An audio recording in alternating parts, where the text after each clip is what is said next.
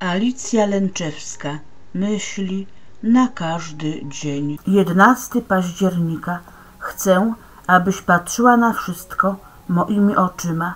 Chcę Cię nauczyć właściwych ocen i rodzącego się z tego współczucia, zrozumienia i chęci pomocy bez narzucania siebie, bez narzucania swoich gustów, poglądów, domniemanych zalet, jak dalece zachować pobłażliwość wobec innych, znacznie bardziej niż wobec siebie, ale trzeba ujawniać im ich wady z miłości, aby pomóc je dostrzec i w konsekwencji zwalczać.